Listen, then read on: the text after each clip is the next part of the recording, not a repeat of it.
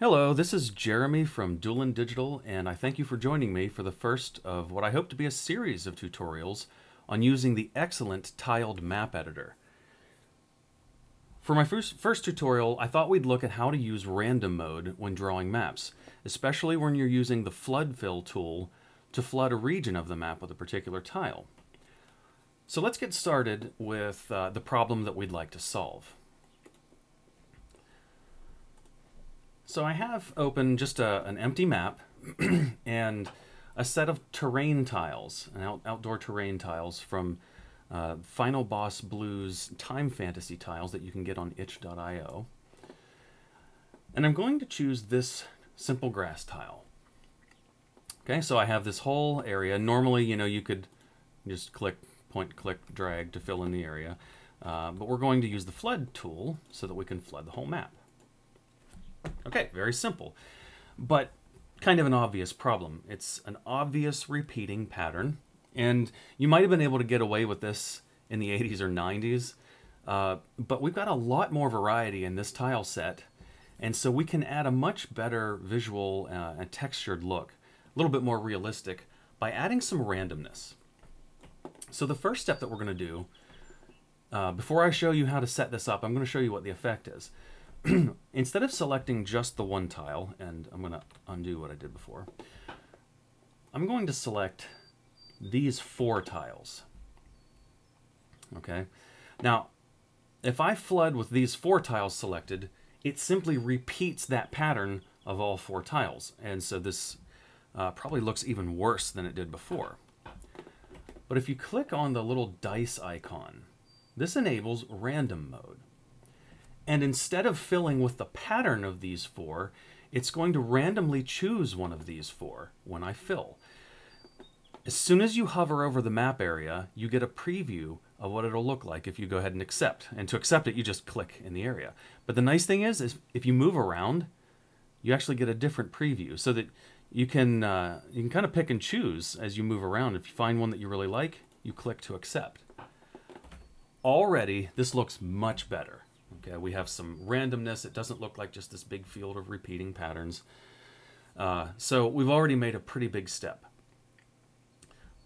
But in addition to the grass tiles, we have all these other options too. We have these different yellow flowers and grass patches, cattails, some rocks, mushrooms, and some very colorful flowers here. It would be nice to, uh, to, to fill this area with mainly grass but to be able to throw in a few flowers or rocks here and there or grass patches just to, to add some more variety. Uh, so we can definitely do this, but the problem is by default, if you don't set the tile setup correct, each tile is going to have the same probability as all the rest. Uh, so that means if you select these four tiles and then throw in uh, some flowers, each one is going to show up statistically an even number of times, which is probably not quite what you want. Ideally, we want the majority to be grass and just to have the flowers and the extras just sort of sprinkled in. Okay, in order to do this, you have to edit the tile set.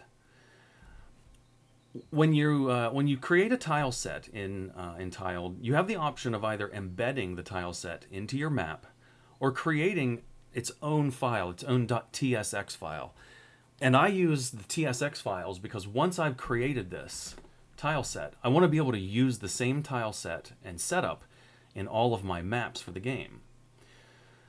So in order to edit the tile set, we come down here to the little wrench icon, click this, and we come to our tile set editor. Okay, so mine's already set up. I'm going to show you what I did uh, to achieve this effect. Choose the uh, tile collision uh, the little shape selector up here, and just choose the first tile. Okay, to the left, you'll see the properties for this tile.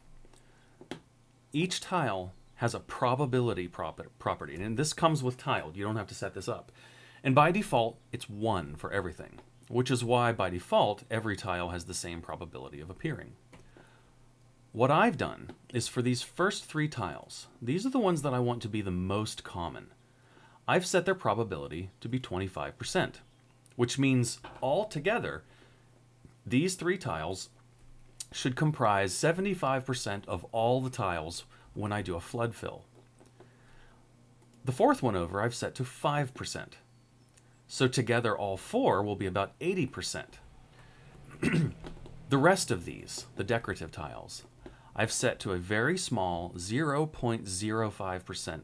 And you might think that that sounds like really small, but believe it or not, when you have a map that's large enough, 0.5% shows up pretty regularly. All of these I've set up with exactly the same 0.05%. Now, the probability is 0.005, but in terms of percentages, that means 0.5%, one half of 1%. And the way I did this is by selecting all of these, and you can edit the probability for all of those tiles all at once by highlighting them all and choosing the probability for them, okay? All right, so now that we have our probabilities set up, that gives us a pretty good idea of how often these are going to show up when we do a flood fill. You'll probably have to tweak the probabilities to your tastes, but let's go ahead and uh, undo what we did before.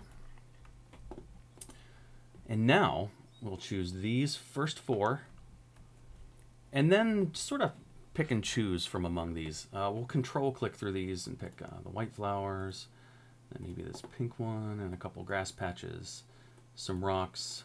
Definitely got to get the mushrooms in there. Uh, some purple flowers. All right, so I've just kind of gotten a little bit of a scattering. Now when I flood fill, we'll see exactly the effect that I was looking for. It's almost all grass. Those four, uh, first three tiles in particular are the most common, and here and there I have the darkest one, the fourth one over, and then I have the flowers and the decorative elements uh, scattered about. You could reduce the, the frequency of the appearance of those by decreasing the probability farther than it already is. Um, and if you like what you have, but you would uh, like to add a little bit of, uh, you know, maybe some flower or grass patches, you want to manually do some work, just turn off random mode and then use the stamp brush and just choose whichever uh, tile you want. Like let's go with uh, the grass patch.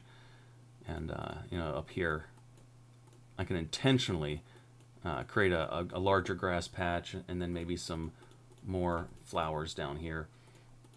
Just to give it so that it doesn't look completely random okay? You can actually give it a sense of some sort of natural structure okay? Well that's it. Um, that's really all there is to using this uh, terrain editor.